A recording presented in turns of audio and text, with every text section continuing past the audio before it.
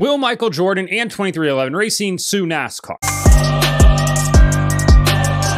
Welcome back to BrakeHard. I'm Matt. The biggest story coming out of Atlanta this past weekend wasn't who's the championship favorite or who's the favorite heading into Watkins Glen, but rather would 23XI Racing sue NASCAR in the future? As much as NASCAR didn't want charter negotiations to become the biggest talking point throughout the playoffs, they absolutely have. If you missed it, NASCAR delivered teams the charter proposal, their final offer, uh, last Friday at around 5 or 6 p.m., depending on who you talk about, and then gave them around six to seven hours uh, to have that signed by that midnight deadline. 13 of the 15 teams teams did sign that uh, new agreement, locking them in for the next uh, seven years. But 23XI Racing and Front Row Motorsports did not sign that agreement. They said they were not comfortable with it. 23XI Racing went as far to say that NASCAR hasn't fairly allowed them to bargain on this new deal. Uh, keep in mind, negotiations have been going on for two plus years, and multiple other owners are basically like, we felt like we were just at the end of the road, that we were going to get as much as we were going to get. And as Rick Hendrick said, I was tired but did go on to say that he did believe that they got a fair deal out of it. They got some of what they wanted. They didn't get some of the other things that they wanted. 23XI Racing is not getting what they wanted, which is why we're in this position that we are currently in. So this past weekend in Atlanta, Curtis Polk, who's an active investor in 23XI Racing and basically Michael Jordan's right hand man when it comes to business dealings, spoke to the media. And he wouldn't go as far as saying that the team would pursue legal action. They have consulted with the, one of the nation's top antitrust lawyers, which was hired on retainer by the RTA, the Race Team Alliance, which was all 15 NASCAR Cup Series teams uh, that currently hold charters in the event that they didn't come to an agreement and then they would have to pursue legal action against NASCAR in that situation.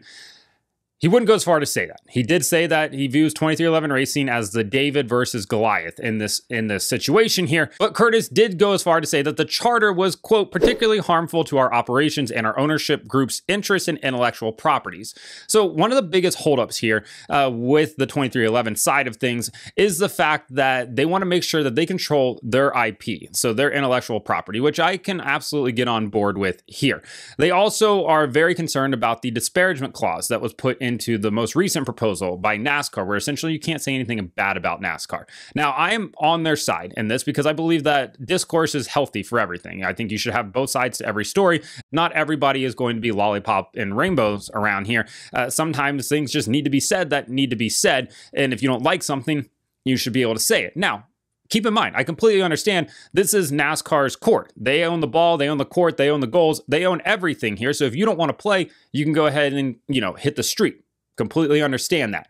But at the same time, I, I think it's a good thing to have uh, disagreements and have different opinions because if everybody has the same idea and thinks the same way, you're not going to necessarily grow from that. So I get what they're arguing here. Today's video is sponsored by Driven Sunglasses. Head over to drivensunglasses.com today. Use code BRAKEHARD at checkout for 20% off plus free shipping. I currently have the Camber sunglasses on. The classics are another favorite of mine as well. So drivensunglasses.com. Use code BRAKEHARD at checkout, 20% off plus free shipping.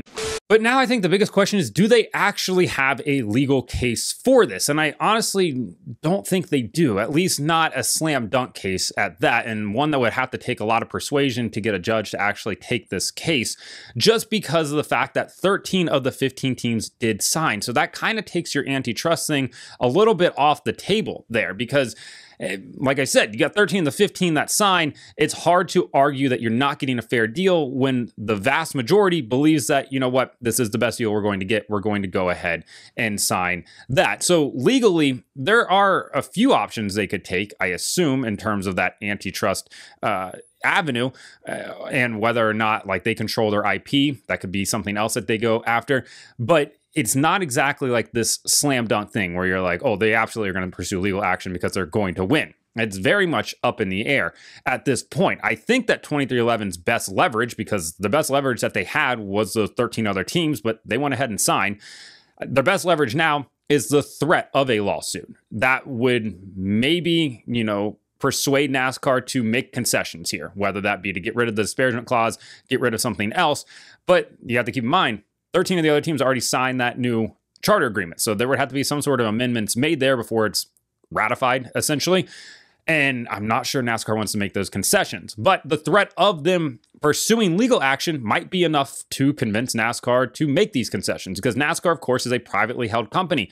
Much like the NFL, they do not want to go to court and have to open up their books because they don't want anybody to know just how much money they are actually making, what they're spending their money on, what money is being spent in what areas. They don't want to do that. And that's their prerogative, right? They're a private company. Of course, nobody wants to do that at all. And that part of it might have Curtis Polk a little bit fired up because he says, quote, this isn't the 1960s and these predatory practices will not withstand scrutiny and be accepted in 2024. NASCAR has superior bargaining power and undue influence over the sport and the charter process.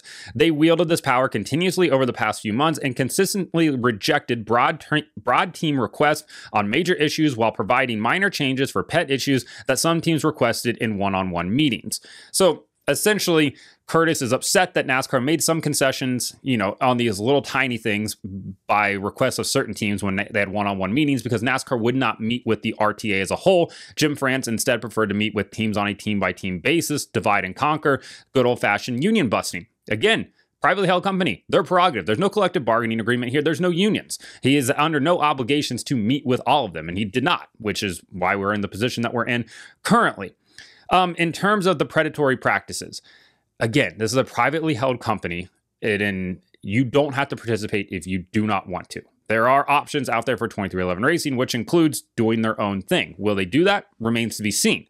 So now the biggest question is if they do pursue legal action, what happens with their charters? Because NASCAR has already said if you didn't sign by that deadline, you would be losing your charters. And if 23XI Racing and Front Row don't sign, December 31st comes around, and just a few months, they lose their charters. They're losing out on 23XI's case with their two, three charters that they have. Same with Front Row Motorsports. We're talking about an 80 to 100 million dollar loss just in charters right there. And then what happens with those six charters that are currently being held by them? Does NASCAR field teams of their own next year? Do they pawn them out to somebody else?